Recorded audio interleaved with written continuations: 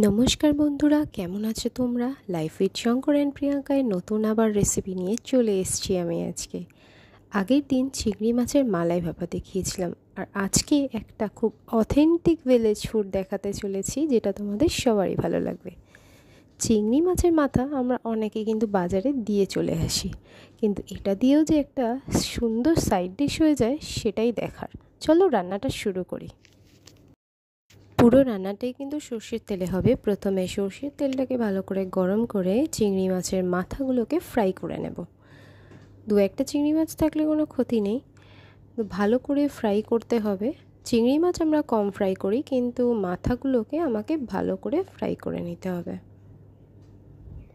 সাবধানে করতে হবে, কারণ এখান থেকে কিন্তু তেল ছিটিয়ে গায়ে পড়তে পারে। তো যখন লাল লাল করে ভাজা ভাজা হয়ে যাবে আমাকে এগুলোকে একটু সাইডে তুলে রেখে এর মধ্যে যে আমার কাটা সবজিগুলো রয়েছে মানে আপনি বিভিন্ন সবজি দিতে পারেন। তো আমি এর মধ্যে যা যা সবজি দিয়েছি, যা যা অ্যাভেলেবেল ছিল, বরবটি, কুমড়ো ইত্যাদি ইত্যাদি, পটল, বেগুন, এগুলো দিতে পারেন। সব কিছু সিজনাল সবজি আমি দিয়েছি। অ্যান্ড সত্যি এটা টেস্ট অথেন্টিক লাগে। আমি ছোটোবেলা মার হাতেও খেয়েছি। তো এটা দিয়ে গরম ভাত জাস্ট জমে যাবে। তো সবজিগুলোকে ভালো করে নুন, হলুদ দিয়ে সুন্দর করে কষাতে হবে ভাজা ভাজা করে।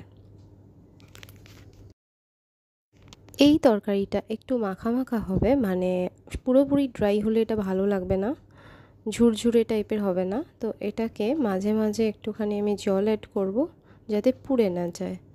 তো সবজি যখন ভালোভাবে সেদ্ধ হয়ে গেছে, তখন মাছের মাথাগুলোকে অ্যাড করে দিন। এর মধ্যে নুন, একটু মিষ্টি আর অবশ্যই একটু লঙ্কা দিতে ভুলবেন না, কাঁচা লঙ্কার ব্যবহার আমি করেছি এখানে। আর কোনো এক্সট্রা মশলা আমি এতে অ্যাড করিনি। চাইলে আপনি জিরে, ধনে দুটোই ব্যবহার করতে পারেন। তো মশলাটা দেওয়ার পর আবারও আমাকে চাপা দিয়ে ভালো করে রান্না করতে হবে। আমার এই ছোট্ট বাঙালি রেসিপিটা তোমাদের কেমন লাগল জানাতে প্লিজ ভুলো না। আর সাবস্ক্রাইব করতেও ভুলো না। যারা নতুন আছো, তারা সাবস্ক্রাইব করে বেল আইকনটা ক্লিক করো যাতে পরবর্তীকালে নতুন রেসিপি পেতে পারো। বাই বাই ভালো থেকো, সুস্থ থেকো।